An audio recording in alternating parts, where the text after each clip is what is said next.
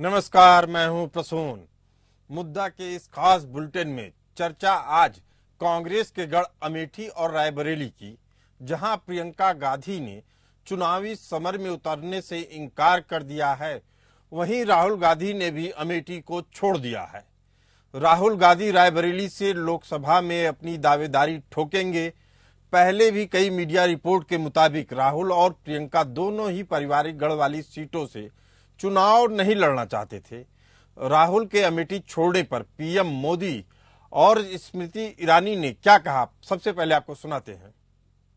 मैंने पहले ही बता दिया था कि शाहजादे वायनाड में हारने वाले हैं और हार के डर से जैसे ही वायनाड में मतदान समाप्त होगा, वो दूसरी सीट खोजने लग जाएँगे। और अब दूसरी सीट पर भी उनके सारे चेले चपाटे कह रहे थे, अमेठी आएँगे अमेठी आएँगे। लेकिन अमेठी से भी इतना डर गए, इतने डर गए, वहाँ से भागकर अब रायबरेली में खोज रहे हैं रास्ता। ये लोग गुम गुम कर सबको कहते हैं, डरो मत। मैं भी आज उन्हें कहता हूँ। और बड़े जी भर के कहता हूँ, अरे डरो मत, भागो मत। और आज मैं एक और बात कहूँगा, कांग्रेस इस बार पहले से भी कम सीटों पर सिमटने जा रही है। मेहमानों का स्वागत है। हम लोग अतिथियों के स्वागत में कोई कसर छोड़ेंगे नहीं। इतना ही कह दूँ कि अमेठी से गांधी परिवार का ना लड़ना इस बात का संकेत है कि कांग्रेस पार्टी चुनाव में एक वोट पड़ने से पहले ही अमेठी से अपना हार स्वीकार कर चुकी है। क्योंकि अगर उन्हें लगता कि यहाँ जीत की कोई भी गुंजाइश है तो वो यहाँ से लड़ते, अपने प्रॉक्सी को ना लड़ा तो सबसे पहले चर्चा करते हैं अमेठी की। अमेठी लोकसभा सीट से 2004, 2009, 2014 में राहुल गांधी ने जीत हासिल करने में कामयाबी पाई। वहीं 2019 में उन्हें भाजपा प्रत्याशी स्मृति ईरानी से हार का सामना करना पड़ा। अमेठी में 2019 में मामला फंसता देखकर राहुल गांधी ने केरल की वायनाड सीट की तरफ़ रुख कर किया और जीत हासिल की। लोकसभा चुनाव 2024 में भी वायनाड से वे चुनावी मैदान में हैं। हालाँकि इस बार उन्हें इस सीट पर मार्क्सवादी कम्युनिस्ट पार्टी से कड़ी टक्कर का सामना करना पड़ रहा है। ऐसे में कांग्रेस राहुल के लिए रायबरेली की सीट को सुरक्षित मान रही है। अमेठी में इस बार गांधी परिवार ने अपने वफादार किशोरी लाल शर्मा को उतारा है, जो इंदिरा गांधी के समय से ही पीएम संसदीय क्षेत्र को संवारने का काम करते रहे हैं। अमेठी 2019 से पहले कांग्रेस का गढ़ मानी जाती रही है। उन्नीस सौ सड़सठ से हुए आम चुनाव में तेरह बार कांग्रेस जीती। दो बार बीजेपी ने यहाँ से जीत हासिल की। अमेठी लोकसभा सीट पर 1980 में संजय गांधी ने चुनाव जीता। उन्नीस सौ चौरासी, उन्नीस सौ नवासी, उन्नीस सौ इक्यानवे में पूर्व पीएम राजीव गांधी ने जीत दर्ज की। 1999 में सोनिया गांधी अमेठी से चुनाव लड़ी और जीती भी। 2004, 2009, 2014 में राहुल गांधी यहाँ से लगातार जीतकर संसद पहुँचे। 2019 के चुनाव में बीजेपी की स्मृति ईरानी से उन्हें हार का सामना करना पड़ा। अब बात रायबरेली की। इस सीट से जीतती आ रही सोनिया गांधी राज्यसभा पहुँच चुकी हैं। इससे पहले भी सोनिया गांधी अपने बेटे राहुल गांधी के लिए अमेठी की सीट को छोड़कर रायबरेली शिफ्ट हुई थी। रायबरेली की बात करें तो 1999 में सोनिया गांधी अमेठी से चुनाव लड़ी और जीती भी। इसके बाद सोनिया गांधी रायबरेली से चुनाव मैदान में उतरने लगी। सोनिया गांधी 2004, 2009, 2014 और 2019 में लगातार सांसद चुनी जाती रहीं। 2024 में सोनिया गांधी का राज्यसभा में प्रवेश हुआ जिसके बाद रायबरेली से राहुल गांधी अब भर रहे हैं हुंकार। आपको इसके साथ बता दें कि प्रियंका इस बार लोकसभा चुनाव नहीं लड़ेंगी। कारण बताया जा रहा है कि पहले प्रियंका गांधी स्वाभाविक तौर पे रायबरेली से चुनाव लड़ना चाह रही थी, लेकिन जब राहुल की दावेदारी इस सीट पे हुई तो प्रियंका गांधी ने भी अमेठी जाने का कोई जोखिम नहीं लिया। इसके साथ कई चीज़ें अपने आप सामने आ रही हैं।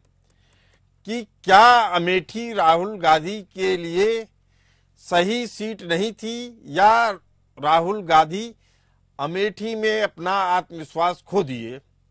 हालाँकि ऐसी खबरें आ रही थी कि सोनिया गांधी चाहती थी कि प्रियंका गांधी और राहुल गांधी दोनों रायबरेली और अमेठी से चुनाव लड़ें, लेकिन प्रियंका गांधी की पहली और अंतिम पसंद रायबरेली थी।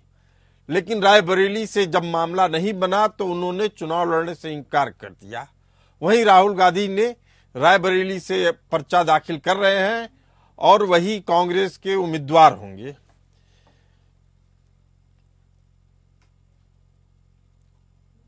अब कांग्रेस आखिर ऐसा फैसला कैसे कर ली कि अमेठी को उन्होंने अपने एक विश्वास पात्र के हाथों सौंप दिया? क्या अमेठी को लेकर कांग्रेस में आत्मविश्वास नहीं है, या इसके अलावा भी कई सवाल खड़े हो रहे हैं कि अमेठी छोड़ने की वजह क्या थी। हमारे साथ मौजूद है इसी पे चर्चा के लिए राकेश पोद्दार, प्रवक्ता बीजेपी, रोहन सिंह, प्रवक्ता कांग्रेस, दिलीप यशवर्धन, राजनीतिक विश्लेषक। पहला सवाल रोहन सिंह जी से। रोहन सिंह जी, अमेठी को लेकर आत्मविश्वास क्यों नहीं दिखा गांधी परिवार में? अमेठी को लेकर आत्मविश्वास है कि नहीं विश्वास है? इसका आकलन यहाँ स्टूडियो में बैठकर नहीं किया जा सकता। अमेठी की जिस तरह से देखिए एक बड़ी खबर आ रही है। राहुल गांधी नॉमिनेशन कर रहे हैं रायबरेली में जाकर। उनके साथ मल्लिकार्जुन खड़गे जी मौजूद हैं सोनिया गांधी जी मौजूद हैं प्रियंका गांधी जी भी मौजूद हैं। देखिए आप सीधी तस्वीरें देख रहे हैं राहुल गांधी की नामांकन की। ये बड़ी तस्वीर है। इस तस्वीर में गांधी परिवार एकजुट दिख रहा है और मल्लिकार्जुन खड़गे जी भी इस मौके पे मौजूद हैं। आप ये तस्वीरें देखकर समझ सकते हैं कि राहुल गांधी ने अपना नामांकन दाखिल कर दिया है, अब वह वापस पलट रहे हैं। हालाँकि मल्लिकार्जुन जी उनको खड़े रहने के लिए बोल रहे हैं, लेकिन गांधी परिवार और मल्लिकार्जुन खड़गे जी चले गए हैं। अधिकारियों ने उनको कहा है कि आप अकेले मौजूद रहिए और बाकी लोगों को बैठने के लिए बोलिए। इसके बाद गांधी परिवार धीरे धीरे अपने नियत स्थान पर बैठ रहा है। इसके बाद तो रोहन सिंह जी, हमारी चर्चा जारी है। हम पूछ रहे थे आपसे कि अमेठी को लेकर भी आत्मविश्वास क्यों नहीं दिखा? हम बताया तो कि अमेठी को लेकर आत्मविश्वास है कि नहीं है, ये स्टूडियो के डिबेट में नहीं तय हो पाएगा। वो सड़क पे मैदान पर गाँवों की, में कस्बों में तय होगा। और रही बात इसकी कि राहुल गांधी जी ने रायबरेली क्यों चुना, अमेठी क्यों नहीं चुना तो इस पर एक बहुत सीधी सी बात है। कोई जहाज़ से लड़ना चाहता, जिसको जहाँ मुफीद लगता है वो वहीं से लड़ेगा। राहुल गांधी जी ने रायबरेली, उनके परिवार के जैसे माँ अब राज्यसभा में है, उम्र की वजह से तो वो उनकी कंस्टिट्यूंसी है तो उनकी ज़िम्मेदारी थी कि उस कंस्टिट्यूंसी की जिम्मे को वो देखें। इसलिए उन्होंने रायबरेली से लड़ना चुना। एक आदमी तीन तीन, चार चार जगहों से तो लड़ेगा नहीं। रही बात के एल शर्मा जी की तो के एल शर्मा जी अमेठी में हर कोई आदमी उनको जानता। है अमेठी रायबरेली वीआईपी कंस्टिट्यूंसी है।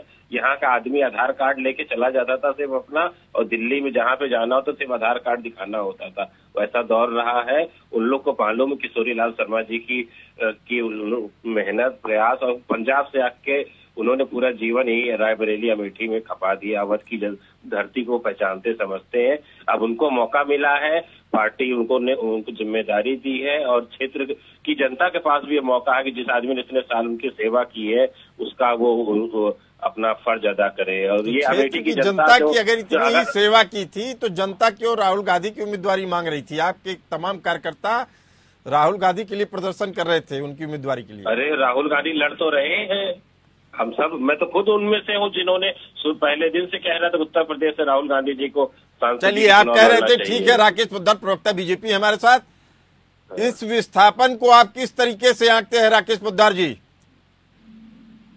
देखिए प्रसून जी, मैं स्पष्ट रूप से कहना चाहता हूँ कि लोगों की मंशा, आप देख सकते हैं किस तरह केरल में गए, वायनाड से चुनाव लड़े। एक तरफ़ कांग्रेस और कम्युनिस्ट पार्टी देश के अंदर और बिहार के अंदर गठबंधन में है, लेकिन वहाँ पे डी राजा की पत्नी, एन राजा इनको चुनाव मैदान में खड़ी हो गई। तो कहीं ना कहीं वायनाड से चुनाव हार रहे हैं। पिछली बार अमेठी से स्मृति ईरानी से चुनाव हो रहे हार रहे हैं। ये भाई साहब अभी बोल रहे थे कि उन्नीस सौ बावन से लगातार फिरोज खान, इंदिरा गांधी विरासत की एक रायबरेली उनकी विरासत रही भैया राजा के पेट से रा, रा, रानी के पेट से राजा पैदा हो सकता है लेकिन इस लोकतंत्र में गरीब के पेट से एक नेता पैदा हो सकता है गरीब की माँ की पेट से एक नेता पैदा हो सकता है लेकिन वही बात रही अमेठी में हम लोगों ने हराया। पिछली बार इस बार भी जनता पार्टी रायबरेली से इनको हरा के दोबारा इनके जो वहाँ पहुँचाने का काम करेंगे। चौबीस अकबर रोड या छत्तीस रंगरेब रोड रोड पे इनको पहुँचाने का हम लोग काम करेंगे और जनता हमेशा विकास के नाम पे मोदी जी की गारंटी के नाम पे मोदी जी ने काम किया उस काम पे हम लोग चुनाव के मैदान में हैं और आने वाला समय जो है अस्सी का अस्सी लोकसभा सीट उत्तर प्रदेश चलिए ठीक है। दिलीप एस वर्धन जी हमारे साथ मौजूद है। दिलीप आपको क्या लगता है कि यह रणनीति क्यों अपनानी पड़ी? अमेठी छोड़ के रायबरेली। और प्रियंका जी का कोई नामांकन ही नहीं।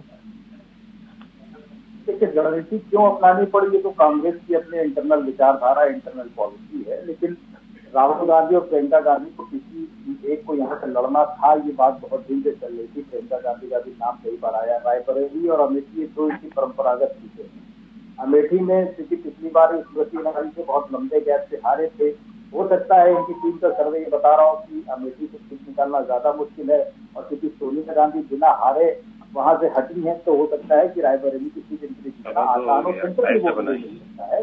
और राहुल गांधी अगर उत्तर प्रदेश से हारेंगे दोबारा हारेंगे तो ये कांग्रेस के लिए बहुत ही खराब बात मानी जाए राजनीतिक ज़मीन उत्तर प्रदेश से वैसे ही कांग्रेस की खत्म हो चुकी है। ये तो परंपरागत सीटें बची है इनमें से एक सीट पिछली बार खत्म हो गई थी अगर इस बार भी राहुल गांधी बाहर निकल के हार जाते तो राहुल गांधी के राजनीतिक करियर के लिए बड़ा दिलीप जी ये सवाल मैंने इसलिए पूछा था आपसे कि अगर रायबरेली को सुरक्षित सीट मानी जा रही है तो आप ये मान के चलिए जो आंकड़े आते हैं राय बरेली भी इतनी सुरक्षित सीट नहीं है। कहा जाता है दोनों सीटें परंपरागत सीटें इस मायने में है कि कांग्रेस को आईना दिखाने का काम करती हैं। जैसे 1977 में राज नारायण जी ने इंदिरा गांधी को चुनाव हराया था। जैसे उन्नीस छियानवे की बात की जाए तो कांग्रेस शीला कौल के बेटे थे। कांग्रेस उम्मीदवार के विक्रम कौल हो चुनाव हार गए। उनकी बेटी उन्नीस सौ अट्ठानबे में चुनाव हार गई रायबरेली से ही। और 1999 में जाके कैप्टन सतीश शर्मा चुनाव जीतते हैं। तो ऐसा नहीं है कि ये कोई बहुत बड़ा गढ़ है। तो जो दिक्कतें अमेठी में थी, वही दिक्कतें फेस करनी पड़ सकती है रायबरेली में भी। दिलीप जी। जी, दिक्कतें तो कांग्रेस के लिए वास्तव में पूरे उत्तर प्रदेश में है। लेकिन अगर दिक्कतों से डर डर के राजनीतिक व्यक्ति रण छोड़ देगा, ये सिर्फ़ राजनीति को शोभा नहीं देता। है मैं मानता हूँ कि आपकी बात सही है और गीता जगह लगी रहती है। राजनीति का एक साइकिल अभी चलता है। एक समय यही था जब भाजपा के बड़े बड़े नेता, बड़े बड़े दिग्गज कोशिश किया करते थे, लेकिन कांग्रेस के आगे हार जाया करते थे। ये राजनीति का समय है, साइकिल है विकल्पी रहती है। वही समय आज भारतीय जनता पार्टी का चल रहा है कि कांग्रेस के बड़े बड़े दिग्गज यहाँ तक कि राहुल गांधी भी हार गए, उत्तर प्रदेश से, जहाँ से प्रधानमंत्री देश को मिला करता था, फिर मिला है, लेकिन अब की बार भाजपा का है। तो गारंटी किसी चीज़ की नहीं होती है, लेकिन गारंटी लेकर के राजनीति नहीं करी जाती। राजनीति हमेशा संभावनाओं का खेल होता है। राजनीति संभावनाओं का खेल होता है। और एक चीज़ का और खेल होता है कि आप अपने कॉन्स्टिट्युएंसी में कितना समय दे रहे हैं और जो पब्लिक से भरोसा दिला रहे हैं जो वादा कर रहे हैं उसको निभा रहे हैं या नहीं। चूँकि पब्लिक आईना ज़रूर दिखाती है। रोहन सिंह जी। पार्टी प्रवक्ता की तरह। रोहन सिंह जी मेरी बात सुनिए आप। हाँ। आप मुद्दे पर हाँ। रहिए आपको लगता है कि जब आपके मन मुताबिक बातें नहीं होंगी आपका तो समझ में नहीं आता है रोहन सिंह जी आपको मुद्दे से भटकना क्यों है? रोहन सिंह जी। रोहन रोहन फ़ोन रोहन सिंह जी ने फ़ोन काट दिया उनको अब दुविधा हो रही है बात करने में। हो सक फिर से हम जुड़ने की कोशिश करते हैं रोहन सिंह जी से। लेकिन फिर सवाल है कि दिलीप जी, इस तरह की व्यवस्था जो दिख रही है, जिसमें कांग्रेस पार्टी में उपापोह की स्थिति है, केंद्रीय चुनाव समिति कहती है कि राहुल गांधी से या गांधी परिवार से कि आप बताइए कौन लड़ेगा तो जब गांधी परिवार के सामने पूरी कांग्रेस की केंद्रीय चुनाव समिति ही सरेंडर कर देती है तो क्या उम्मीद की जाए कांग्रेस के नेतृत्व से? सुनील जी, ऐसा नहीं है कि उम्मीद नहीं करी जा सकती। मैंने कहा कि राजनीति की साइकिल चलती है। 2014 में जब नरेंद्र मोदी जी बनारस से लड़ने आए थे तो क्या क्यों लड़ने आए थे? तो बनारस, उत्तर प्रदेश में कभी थे भी नहीं। उनका कोई जनाधार भी नहीं था। बनारस में उनका घर भी नहीं है। उत्तर प्रदेश में भी घर नहीं है। और उत्तर प्रदेश की राजनीति में नरेंद्र मोदी कभी सक्रिय भी नहीं रहे थे। लेकिन वो यहाँ से जीत करके आदरणीय प्रधानमंत्री बने ना। तो हर राजनीतिक पार्टी की अपनी कोई ना कोई स्ट्रेटेजी होती है। उस स्ट्रेटेजी को ना तो वो पब्लिकली डिस्क्लोज करते हैं और ना हमारे आपके सामने वो रखते हैं। लेकिन लड़ना, मैंने कहा कि राजनीतिक संभावनाओं का खेल होता है और जो आपने कहा कि जनता को क्या करना है ये जवाब तो हर जनप्रतिनिधि को देना होता है, चाहे वो सभासद हो, चाहे वो सांसद हो, चाहे वो विधायक हो, चाहे वो प्रधानमंत्री बने, चाहे कोई मंत्री बने। ये तो देश की जनप्रतिनिधित्व का उत्तरदायित्व है। जिसको वो रिप्रेजेंट कर रहा है उसके प्रति उसकी जवाबदेही हो अगर जवाबदेही ठीक रहती है। दिलीप जी तो राजनीतिक विश्लेषक के तौर पे जुड़े हैं। हम चाहते थे कि इसमें और भी गहराई ली जाए अपनी चर्चा में। तो आपको बता दें कि अमेठी में राहुल गांधी के सामने चार पाँच बड़ी मुश्किलें या चुनौतियाँ थी।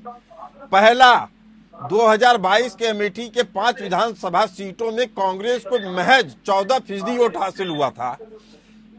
स्मृति ईरानी ने अमेठी को घर बनाया और राहुल गांधी 2019 के बाद केवल दो बार अमेठी में गए।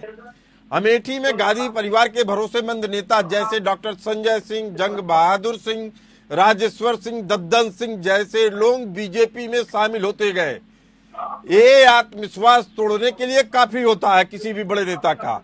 इसके अलावा जाति समीकरण देख लिया जाए तो बीजेपी का परंपरागत सवर्ण वोट कांग्रेस के लिए बड़ी चुनौती साबित हो रहा था। कारण क्या है कि अमेठी लोकसभा में सत्रह दशमलव एक छह लाख वोटर हैं। इनमें से सबसे ज़्यादा अनुसूचित जात के हैं, जिसमें तकरीबन 26 फ़ीसदी दलित वोटर हैं, जिनके बारे में माना जाता है कि ये बीजेपी के पास जा रहे हैं। इसके अलावा सवर्ण वोटर्स की बात की जाए तो 18 फ़ीसदी ब्राह्मण और 11 फ़ीसदी छत्री एक बड़ा वोट बैंक है, वो पूरी तरीके से बीजेपी के लिए समर्पित दिखता है। अब अगर ऐसी स्थितियाँ देखी जाती हैं तो अमेठी में अच्छा खासा जाति वोट बीजेपी की ओर जाता दिख रहा है।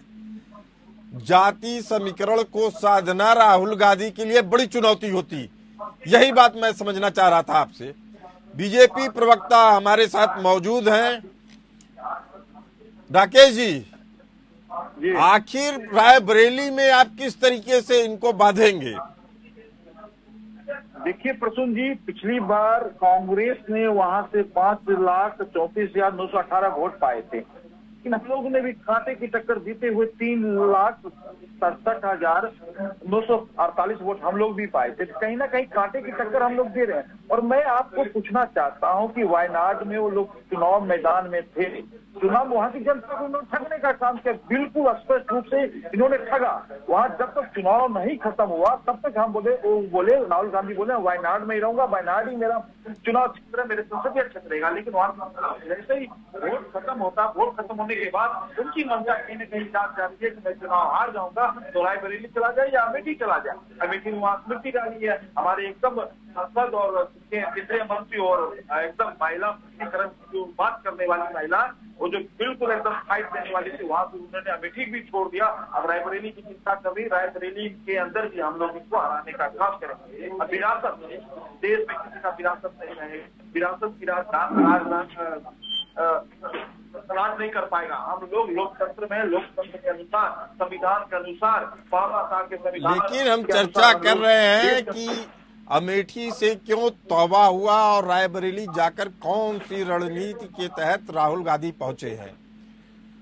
देखिए प्रसुन जी मैं एक स्पष्ट रूप से कहना चाहता हूँ कि पूरे देश के अंदर इंडी गठबंधन, जो इनका गठबंधन है, आप देख सकते हैं दिल्ली और पंजाब में आम आदमी अलग अलग है। दिल्ली में एक साथ है। कम्युनिस्ट पार्टी बिहार में एक साथ है। एक साथ लड़ रहे हैं। डी राजा, सीताराम येचुरी सब एक साथ मंच पे दिखते हैं। राहुल गांधी एक मंच पे दिखते हैं। रामलीला मैदान में भ्रष्टाचार के खिलाफ आंदोलन में खड़े होकर सब एक दिखते हैं। लेकिन जब चुनाव की बारी आती है तो ये कहीं ना कहीं अलग होने का काम करते हैं। एक अलग होने का काम करते हैं। हमारे साथ गोपाल कृष्ण जुड़े हुए हैं, प्रवक्ता कांग्रेस। गोपाल जी बहुत बहुत स्वागत है आपका। हम चर्चा कर रहे हैं कि आखिर राहुल गांधी अमेठी को क्यों छोड़े रायबरेली क्यों पहुँचे क्या यह दिल का हम्म। खेल था या दिमाग का? अभी तक जो आंकड़े आ रहे हैं हमारे सामने उससे तो लग रहा है पूरी सोची समझी रणनीति के तहत राहुल गांधी जी ने फैसला किया है। जी बिल्कुल। जो जनता की मांग होगी जो पार्टी का फैसला होगा पार्टी के आला कमान माननीय खड़गे जी माननीय सोनिया गांधी जी सब लोगों ने मिलकर जो फैसला लिया वो फैसला पर जारी है हम लोग। हमारा चुना हुआ कि नहीं हम लोग रायबली बरेली को इस बार ट्राई करेंगे। तो रायबली से हमारे माननीय पूर्व अध्यक्ष श्री जननायक राहुल गांधी जी आ गए। तो इसमें तकलीफ़ क्या है बीजेपी को? बीजेपी को तकलीफ़ नहीं है। आपकी परंपरागत सीट थी अमेठी। ऐसा लग रहा है कि पहली बार गांधी परिवार ने अमेठी को छोड़ दिया और पूरी तरीके से मुँह मोड़ लिया। बस यही चर्चा हो रही है। अगर आप ये बात कहेंगे ऐसे तो वरुण गांधी जी भी लड़ रहे थे पीलीभीत से वो नहीं लड़ रहे हैं। तो वो परिवर्तन चलता रहता है। पूरा प्रधानमंत्री अहमदाबाद से लड़ रहे थे। 2014 में उनको उम्मीद नहीं थी तो अहमदाबाद से भी लड़े थे और काशी से भी लड़े थे। दो जगह से वो खुद लड़े थे। तो ये जबकि भरपूर लहर थी उसके बावजूद ही प्रधानमंत्री को भरोसा नहीं था। तो ये दूसरे को क्या बताएँगे? रायबरेली भी हमारा है अमेठी भी हमारा हो सकता है अगली बार हम लड़ जाए। कौन सी बड़ी बात है इसमें? हर पाँच साल पर होना है। और ये चैलेंज कर रहा हूँ मैं कि भारत की जनता रायबरेली की जनता और अमेठी की जनता लड़ रही है। बीजेपी का सुपड़ा साफ़ हो जाएगा स्मृति ईरानी का अमेठी से। यही मैं दिखाना चाह रहा हूँ इस बार अगर माननीय राहुल गांधी जी नहीं है वहाँ से तो हमारा कार्यकर्ता इसी बात पे मुझे गोपाल जी आपको रोकना पड़ेगा। क्योंकि आप अब गलत तथ्यों के साथ जा रहे हैं। मैं आपको बताना चाहता हूँ अपने दर्शकों को बताना चाहता हूँ। अमेठी लोकसभा के पाँचों विधानसभा में से 2022 में जो विधानसभा चुनाव हुए थे उसमें महज केवल एक सीट थी जिसमें कांग्रेस आगे था। मेरी बात सुनिए गोपाल जी। आप? मेरी बात तो सुनिए। केवल अमेठी में 230 वोट से आगे थी। बाकी तिलोई की बात की जाए तो पंद्रह हज़ार से हार रही थी कांग्रेस। सलोन की बात की हाँ। जाए तो एक हज़ार नौ सौ दस से हारी ना ये दो गौरीगंज से उन्नीस हज़ार से ज़्यादा बीस हज़ार के तकरीबन वोट से हार रही थी। बढ़ा गए हैं भाई। 2019 के बाद से हो रहा है ना। 2022 की बात कर रहा हूँ मैं विधानसभा में। हाँ विधानसभा उन्नीस के बाद ही ये सब हो रहा है ना। तो ये तो लोकसभा तो उन्नीस से चला आ रहा है ना। क्यों परेशान हो गए पाँच साल में छोटे बच्चे की तरह? कि इसी बार जो हो गया सो हो जाएगा। स्मृति रानी नैरो माइंडेड है। उनके लिए उन्होंने पार्टी के लिए कोई काम नहीं किया। वहाँ एक माननीय संजय गांधी जी के नाम पर एक अस्पताल था उसको बंद करवाने का काम किया भाई अगर नहीं काम किया था तो खड़े होकर लोगों से वोट मांग रहे और आप काम किए थे तो छोड़ के चले गए। हाँ नहीं छोड़ के नहीं गलत सब उपयोग कर रहे हैं आप। खड़े होकर वोट मांगने मांगने के लिए कोई मांग लेगा। इस बार उनकी हार पक्की है और हमारे कांग्रेस के बहुत बड़े नेता शर्मा जी है उनका पूरा नाम नहीं रहा वो हराएँगे उनको। किशोरी लाल शर्मा जी है पंजाब से आए हुए हैं पूरा जीवन खपा दिए हैं। आपसे पहले भी एक कांग्रेस प्रवक्ता थे उन्होंने बता दिया पूरी नहीं वो कांग्रेस के और कोई नहीं अमेठी छोड़ रहा है। अमेठी मेरी अपनी सीट है रायबरेली मेरी अपनी सीट है। और हमेशा से आज वरुण गांधी जी के सांसद हैं उनके टिकट काट दिए गए बीजेपी के द्वारा पीलीभीत से लड़ते थे वो नहीं लड़ रहे हैं। क्या मतलब है इसका? कौन डर जाएगा उससे कौन डर जाएगा? क्या नहीं डरेगा? एक बड़ा सवाल है।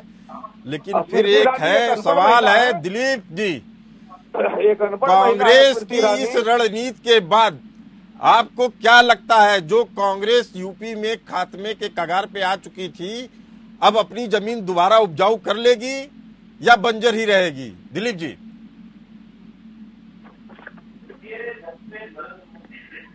सवाल दोहराइए कांग्रेस जो यूपी में खत्म होने के कगार पे पहुँच चुकी थी क्या राहुल गांधी की इस रणनीति के बाद वायनाड से रायबरेली आने के बाद क्या कांग्रेस के लिए उत्तर प्रदेश की ज़मीन उपजाऊ साबित होगी या नहीं?